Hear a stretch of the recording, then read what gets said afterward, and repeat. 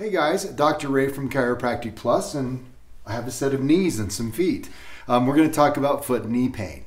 Now, um, the most common situation we see in the biomechanics of the feet and knees are pronation troubles and supination problems in the feet.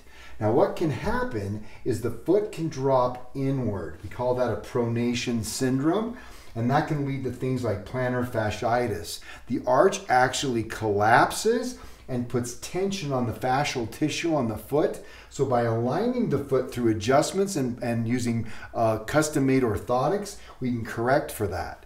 Now what occurs when we overpronate is the knee turns inward and that can cause any number of pathologies on the knee. That can cause medial knee pain, um, inside surface, or front knee pain like jumper's knee or medial collateral pain.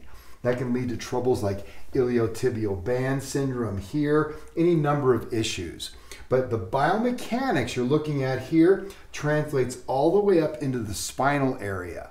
When that occurs, that damages the nerve that controls the alignment of the foot and knee, and you end up with a perpetual loop, or what I call the catch 22. So we have to address the neurologic problems in the spine and the mechanical changes in the legs to get that spine and knee pain, uh, foot pain, and sometimes back pain corrected.